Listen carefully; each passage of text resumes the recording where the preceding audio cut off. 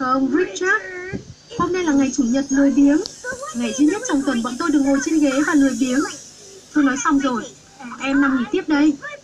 Công chúa, phòng cô bừa bộn nhất lâu đài. Cô nên rời khỏi ghế và bắt đầu lau dọn đi. Nếu không sẽ không kịp đâu. Anh mất trí à? Nếu bọn tôi rời ghế, ngày chủ nhật lười biếng sẽ kết thúc. Và không đời nào tôi để chuyện đó xảy ra. Vậy là hai người được nằm trên ghế cả ngày à?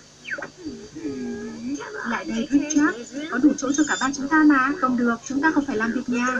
Nhưng trong ngày chủ nhật tôi biến, ta không làm việc nhà. Hai người luôn như vậy và tôi phải đi sau dọn dẹp. Tôi sẽ đi lấy dụng cụ vệ sinh. Khi tôi quay lại, hai người giúp lau dọn lâu đài được không? May quá, suýt thì tiêu.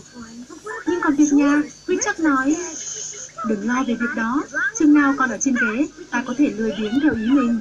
Ta đang làm sở việc suy nghĩ, à phải, lấy giúp chị đồ ăn vặt. Được thôi chị gái,